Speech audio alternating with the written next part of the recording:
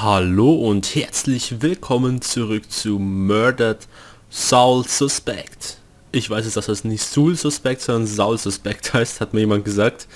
Auf jeden Fall ähm, bin ich jetzt mit einem neuen Mikro am Start. Vielleicht hört man das ja. Ähm, vorher hatte ich ja einfach äh, das Mikro des G930 Headsets von Logitech genommen und jetzt habe ich ähm, ein Großmembran äh, Studio-Mikrofon von Rode. Das Rode NT2A habe ich jetzt. Und wir schauen mal, was sich hier verbirgt. Sammeln wir das mal. Hier gibt es Informationen. Zeitungsartikel Nummer 4. Das FBI kann einbezogen werden, um die lokalen Behörden zu unterstützen, wenn eindeutig feststeht, dass es sich um einen Serienmörder handelt. Das Salem Police Department bezog bis Redaktionsschluss keine Stellung zu der Ankündigung des FBI hat sich aber wiederholt geweigert, die Tote als Werk eines Serienmörders zu beschreiben. Es macht keinen Sinn, die Stadt wegen etwas in Panik zu versetzen, das vielleicht nicht mal wahr ist, sagt SP SPD-Sprecherin Ingrid Larsen in einer früheren Stellungnahme zu dem Fall. Das stimmt allerdings. Man sollte nie die Bevölkerung verrückt machen, das ist immer schlecht. Was haben wir hier? Das sammeln wir doch. Noch neun mehr zum Aufdecken der Geschichte. Die Waffen haben wir glaube ich nicht alle gefunden, leider. Im Police Department. Aber wir gehen jetzt mal zum Ashland Hills Friedhof, genau.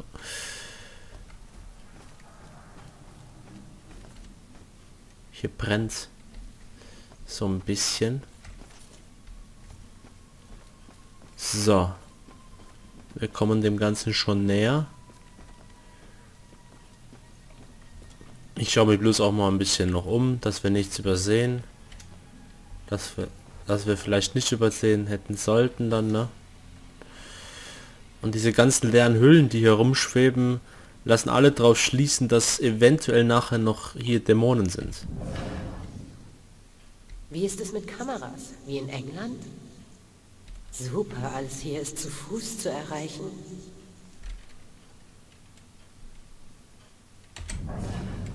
Sie keine Beziehung will, soll sie es einfach sagen. Ich meine, was ich sage, ist das so schwer zu verstehen? Hm. Was haben wir hier? Wieder ein Zeitungsartikel offenbar. Zeitungsartikel Nummer 3. Während es dem Salem Police Department weiterhin widerstrebt, die kürzlichen Morde offiziell in Verbindung zu bringen, haben sie die ungewöhnliche Art und Weise der Morde völlig außer Acht gelassen. Die häufigste Todesursache in New England, England genau wie im Rest der Vereinigten Staaten, sind Schusswunden, aber Schüsse fehlen in keinem der Morde. Nehmen Tode durch Verbrennungen oder Erstickung zu oder gibt es einen Mörder mit einem bizarren Motiv, der in all seinen Morden die per eine perverse Vorgehensweise ausübt?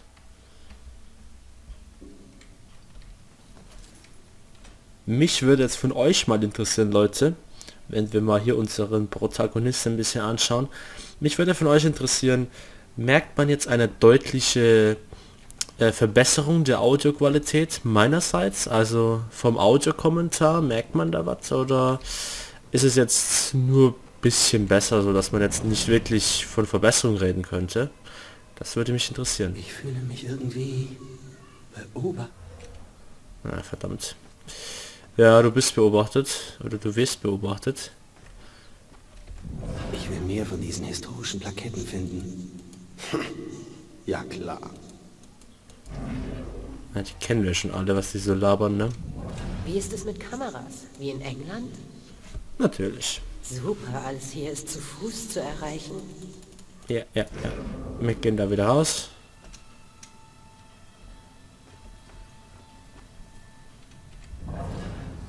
Ich glaub's einfach nicht. Bist du jetzt glücklich, du Arsch? Ist es das, was du wolltest? Du hast gesagt, ich wäre die eine. Eher eine von vielen. Ich verstehe nicht, was er an ihr findet. Sieh ihn dir an. Was für ein Schwein. Er fühlt sich nicht mal schuldig wegen dem, was er getan hat.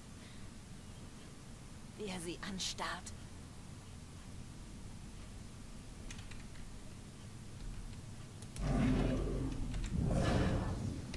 Da können wir jetzt auch keine Gedanken lesen, leider. Bloß mit dem Geist können wir nachher noch reden.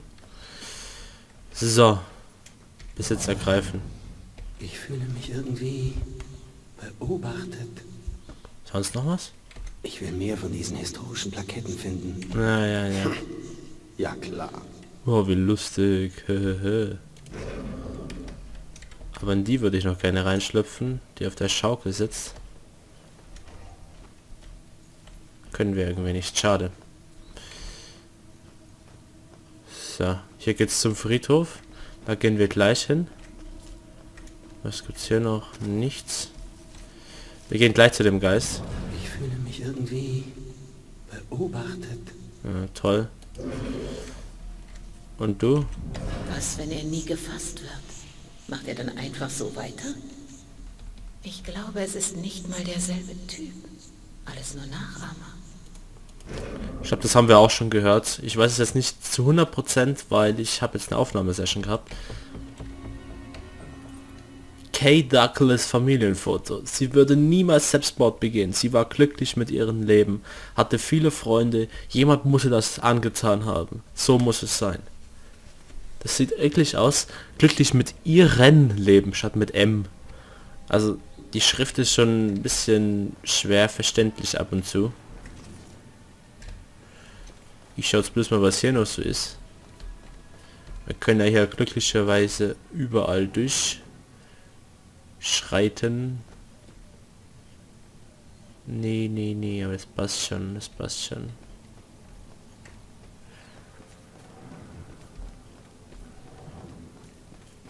Was haben wir denn hier noch?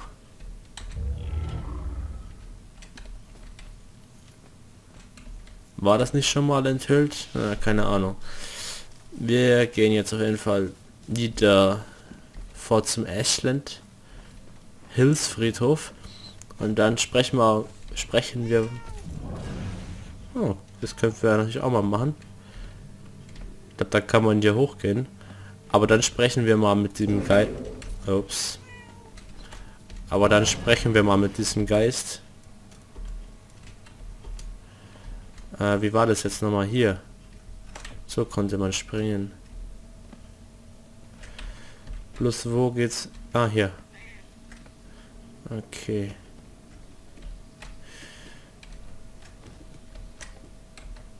Ups. Die Steuerung mit der Katze ist immer ein bisschen krass. Ich, ich drücke immer auf ähm, auf äh, Leertaste und dann wird der Blick so anvisiert. Das ist ja falsch eigentlich. Ah, sammeln wir das hier noch. Wir können die Katze natürlich nicht da oben sitzen lassen, deshalb.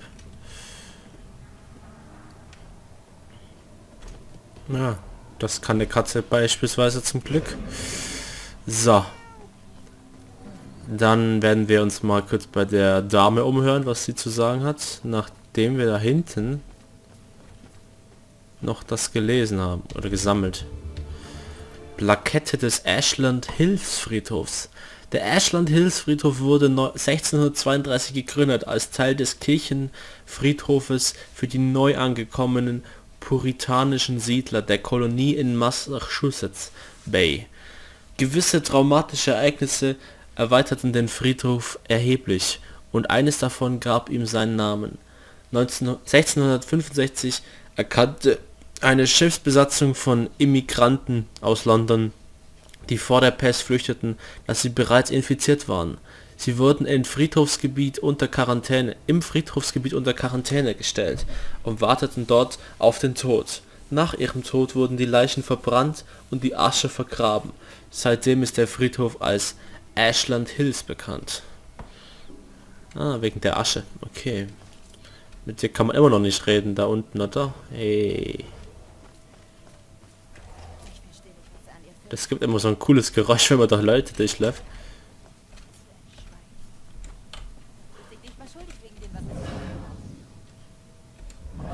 Leider, leider kann man die Gedanken nicht lesen. Aber jetzt reden wir mal mit ihr. Harte Trennung? Er hat mich betrogen. Er sagte, er würde mich auf ewig lieben. Aber er heiratet eine andere. Hat er mich mit ihr betrogen? Ich habe stets geahnt, dass er noch eine andere ist. War sie es? Spielt das eine Rolle? Er hat es anscheinend hinter sich gelassen. Vielleicht solltest du das auch tun. Ich kann nicht. Nicht bis ich die Wahrheit weiß. Bitte. Ich muss es wissen. Egal, was dabei rauskommt. Okay. Ich sehe es mir an. Hat er sie betrogen? Antwort finden. Gebrochenes Herz. Ah, verdammt. Jetzt war ich zu langsam wieder mal. Und das ist immer mein Problem. Ich finde diese Scheißsachen dann immer nicht mehr. Äh, äh, äh, mit E. Gebrochenes Herz. Ja, diese neue hier. Zeugen ist auf dem Weg zum Revier, um das Buch ihrer Mutter zu finden. Ich glaube, die könnten wir uns auch noch kurz anschauen, alle. Der Schrei der Zeugen hat mich auf schmerzhafte Weise desorientiert. Wie kann das sein? Die Zeugin lief von zu, von zu Hause fort, um schwieriger für hilfsbedürftige Geister zu finden zu sein. Mutter der Zeugin wird vermisst. Die Mutter der Zeugin wird seit ein paar Tagen vermisst und hat keine Ahnung, wo ihre Mutter hin ist. Notiz der Mutter der Zeugin. Die Mut Notiz sagt, die Zeugin soll das, solle das Buch zu den Glockenmorden holen. Geh jetzt und finde mein Buch im Revier. Wir sind nicht mehr sicher. Ich versuche dich zu finden, bevor ich gehe. Mom. Identität des Mörders. Die Zeugin kannte den Mörder nicht. Wen kenne ich, der mich tot sehen wollen könnte? Motiv des Mörders. Der Glockenmörder war vermutlich auf der Suche nach der Mutter der Zeugin. Warum sollte sie das Ziel sein? Oder ein Ziel sein? Wie auch immer, ne? Hier haben wir auch alle gefunden, hier auch. Vorstrafenregister. Rex hatte Baxter davon abgehalten, mich zu erpressen, um ein Vorstrafenregister gegen mich zu verwenden. Partnerschaft. Joy braucht meine Hilfe und ihre, um ihre vermisste Mutter zu finden und kann mir helfen, den Glockenmörder aufzuspüren. Hier haben wir alles. Grauenvoller Autounfall. Es ist nicht viel, aber vielleicht bietet dieser furchtbare Autounfall Hinweise auf das, was in dieser Nacht geschah. Gebrochenes Herz, hier haben wir es. Es braucht keinen Detek Detective, um festzustellen, dass ihr Herz gebrochen ist. Ich sollte herausfinden, ob ihr Ex-Freund sie betrogen hat. Vier Hinweise brauchen wir dabei. So. Okay, wir haben da noch keinen... Ups. Wir haben da noch keinen richtigen Hinweis.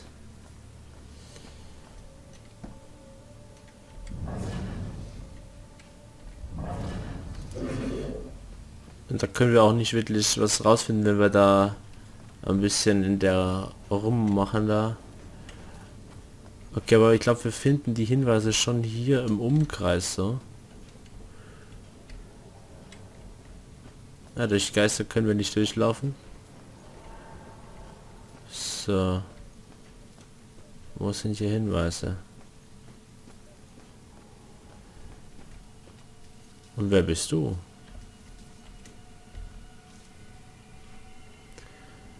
Nach Zeit, du siehst schuldig aus. Hey Kumpel, bist du im Dienst oder was? War ich mal.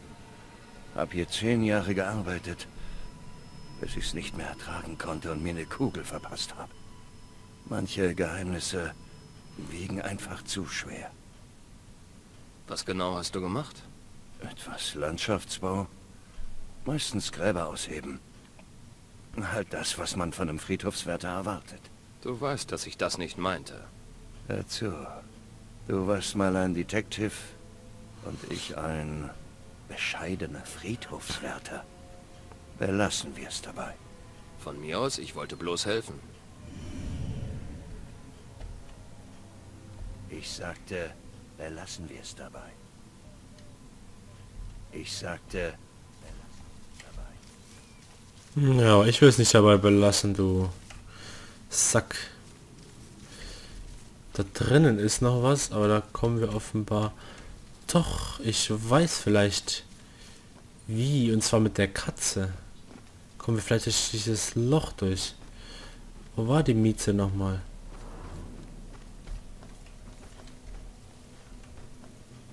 Jetzt wartet mal kurz. Die Miezekatze.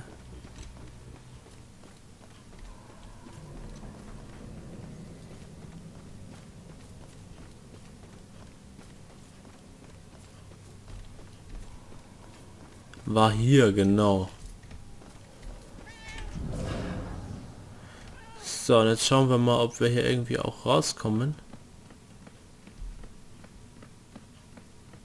Aber sieht nicht danach aus. Dann gehen wir zurück zum Friedhof und versuchen sonst noch irgendwelche Sachen rauszufinden.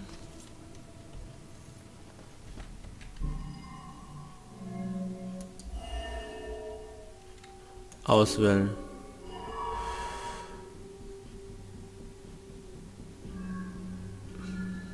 Hm. Aber ich weiß jetzt ehrlich gesagt nicht, was ich rausfinden soll, wenn ich den ihre Gedanken nicht lesen kann. Beeinflussen. Was würde sie an die Ex ihres Verlobten denken lassen? Gebrochenes Herz. Ich frage mich, ob er immer noch an sie denkt. Vielleicht ist er deshalb immer so zögerlich. Ich würde es ihm nicht vorwerfen. Aber es tut weh, dass sie der Grund ist, dass ich ihn angesprochen habe. Er sah so verletzt aus. Als ob er jemanden zum Reden brauchte. Ich hatte nicht erwartet, mich in ihn zu verlieben. Wie die Dinge sich entwickeln. Aha. Sie hat nur versucht, eine Freundin zu sein. Sie hat nicht damit gerechnet. Aus der kriegen wir nichts mehr raus. Beeinflussen.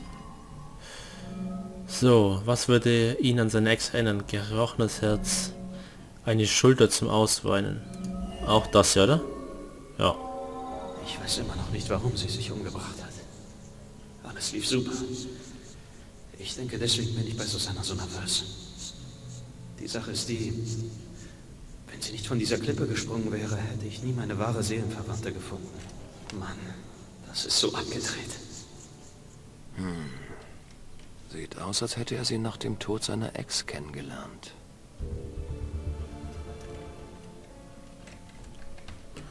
Selbstmord der Ex-Freundin. Anscheinend hat er seine Verlobte erst nach dem Selbstmord der Ex-Freundin kennengelernt. Da ist noch was. Eine Schulter zum Ausweinen. Sieht so aus, als hätte die Neue ihn angesprochen, weil er so verstört und einsam aussah. So, da kriegen wir nichts mehr raus. Das hier auch nicht. Dann versuchen wir mal eine Antwort zu finden. So, war nicht richtig. Ups, dann müssen wir hier weitermachen. Zack. Und jetzt. Zack. Scheint ein großes Missverständnis zu sein. Schlechte Neuigkeiten. Wie sich herausgestellt hat, hat er sie nicht betrogen und ihr Selbstmord hat sie zusammengebracht. Ich bin mir nicht sicher, wie sie das aufnehmen wird, aber ich werde es wohl herausfinden. Okay, dann werden wir sie mal davon in Kenntnis setzen. Die gute Nachricht ist, er hat dich nicht betrogen. Die schlechte, dein Selbstmord hat sie zusammengebracht. Also, hat er mich wirklich geliebt? Sieht so aus. Ich habe einen großen Fehler gemacht. Er denkt immer noch an dich. Vielleicht tröstet es dich, dass man dich nie vergessen wird. Ein bisschen. Ich wünschte nur, ich hätte ihm mehr vertraut. Vielleicht wären wir es dann, die sich verloben. Vorbei ist vorbei, schätze ich. Egal. Danke für alles. Kein Problem.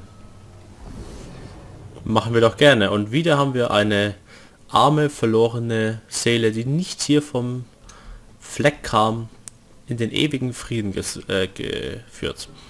So. Und schauen wir mal gerade, was noch so ist. In der Nähe der Tankstelle. Das mit dem Ansehen funktioniert jetzt hier gar nicht. Da muss ich dann immer mit äh, Enter drauf gehen. Ist auch komisch. Okay, aber wir haben, glaube ich, diesen Autounfall noch offen. Aber wir gehen jetzt mal zum Ashland Hills Friedhof.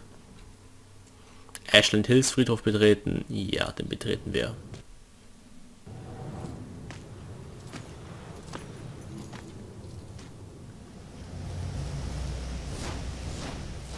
Hab das immer als Julias letzte Ruhestätte betrachtet.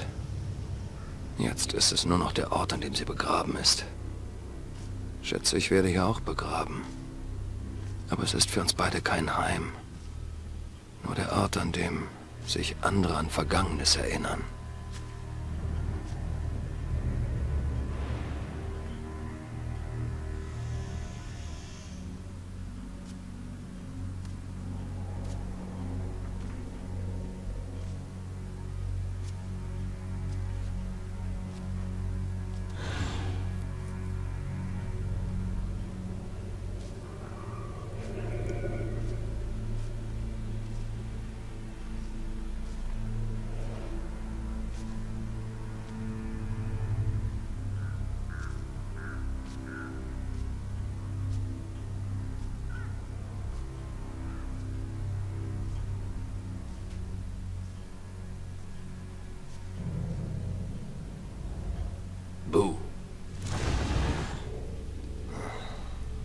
Klasse.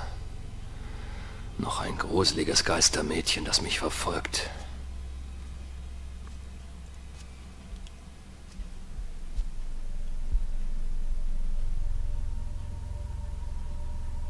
Tut mir leid, dass es so lange her ist, Julia.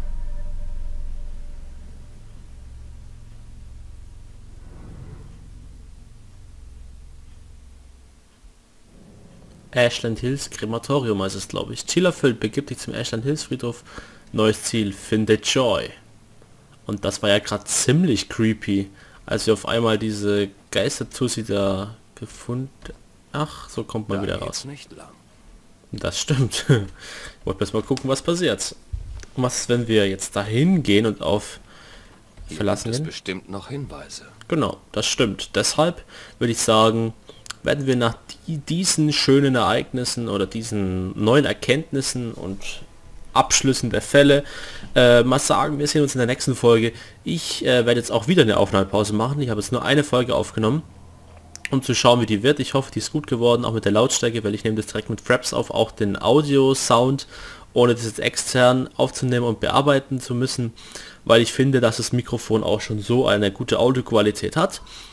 Und ja, ich hoffe, dass es euch aufgefallen hat. Ich würde mich auf jeden Fall über Feedback freuen, wenn ihr das mir hinterlassen könntet. Ja, dann wäre ich euch doch sehr verbunden, damit ich mal erfahre, wie es euch denn so gefällt. In diesem Sinne noch einen wunderschönen Tag, Leute, und bis nächstes Mal. Haut rein. Ciao.